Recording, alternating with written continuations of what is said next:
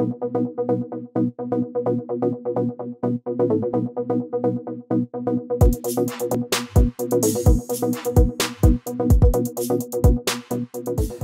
company is uh, Somani Italia.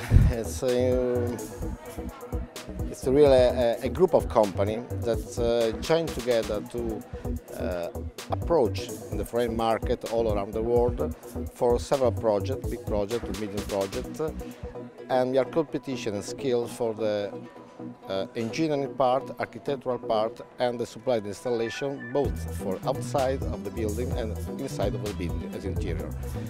Uh, the power of our group is to, to have inside all the production of the raw material. So we are not a general contractor that buy in the market uh, the raw material, but we produce everything by ourselves. So it means that we are competitive in price and we can uh, uh, join all together to participate in the, this kind of project. Uh, our main goal is to approach in the, in the, right way to architectural study all around the world because we think that the architects have uh, the, the, the, heart of the project. And so uh, we are here. this is the reason why we're here.